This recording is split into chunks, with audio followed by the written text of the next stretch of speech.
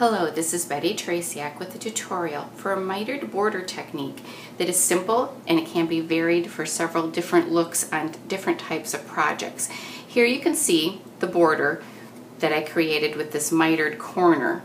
In this case, it has been adhered down to the background.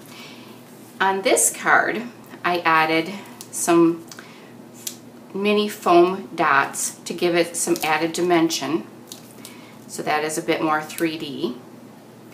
On this example, I slipped a piece of vellum that had been stamped underneath of the edges before those were adhered down. This can be, this is a 3 by 6 so this could be either a card or it can, could be a decor piece. Another way that it can be used is by not adhering the flap down at all. So that creates a different look and it creates some interesting intersections where those corners come together.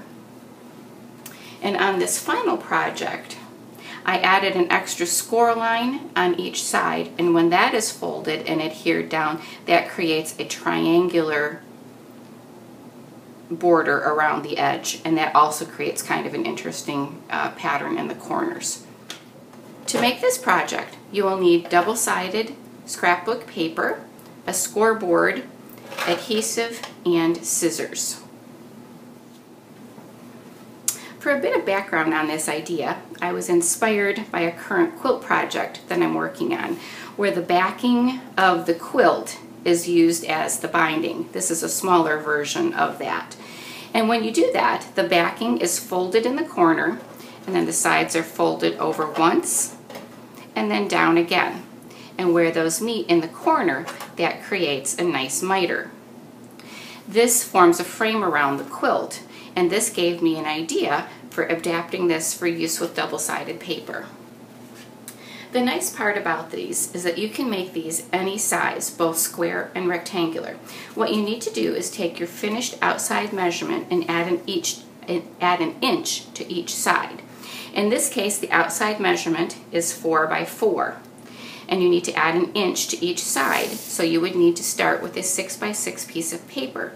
Keep in mind also that this inside opening is going to be a bit smaller than the folded edge. So this is actually going to be an inch less. So the inside opening of this project here is actually going to be three by three.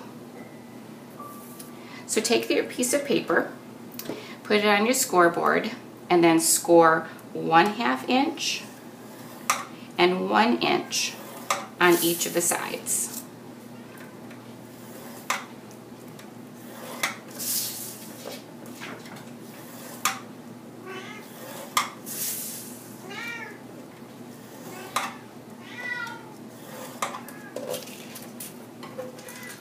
The score lines will form four small squares in the corner.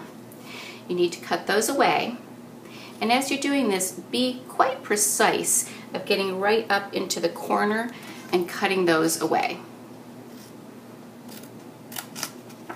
That just helps with the precision of the miter when you're finished.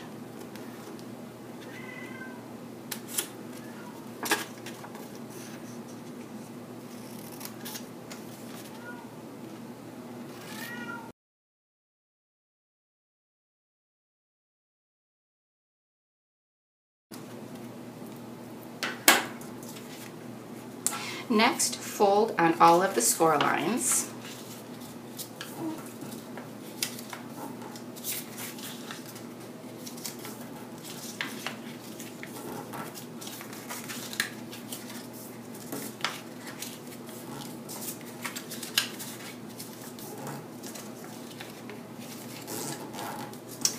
Then fold each corner on a 45 degree angle. And to do that, take the edge of the paper and line that up right along the score line so that the edge of the paper is right on the score line.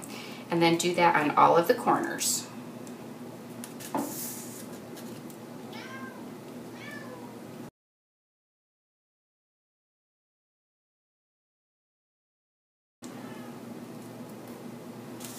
Then fold over on those previously folded score lines. And when you do, that will create the miter.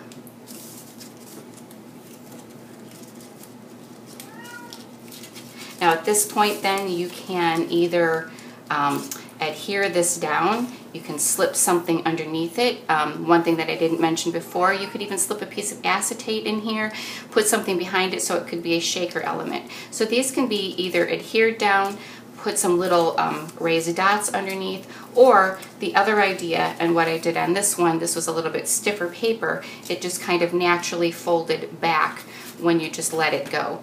So um, particularly if you have a stiffer type of paper, that will form the edges and that will just stay in that position.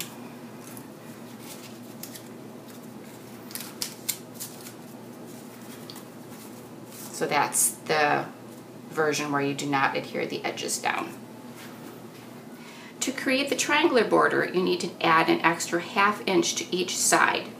So for this finished size, which is a four by five inches, this needs a piece of paper which is actually seven by eight inches. And then this will be scored at one half, one inch, and one and a half inch on all of the sides. When you do that, there are going to be nine squares in the corner. And again, just like before, those need to be cut away. And the rest of the assembly is very similar.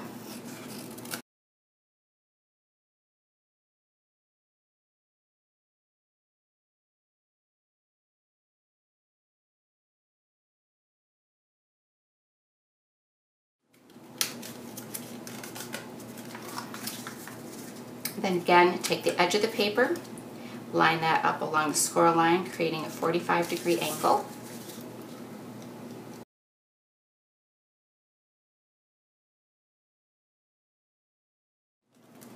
Once these are folded, flip this over and apply adhesive to the outer edge. Then fold over once third time, peel off the adhesive.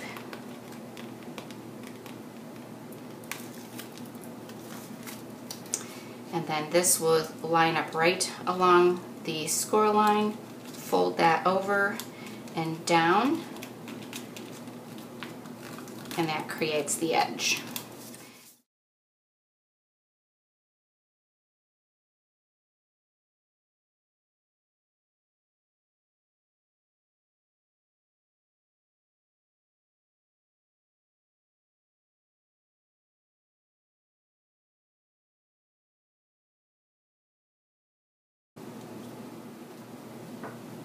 Thank you for the opportunity to share my ideas and projects with you, and I look forward to seeing your creations.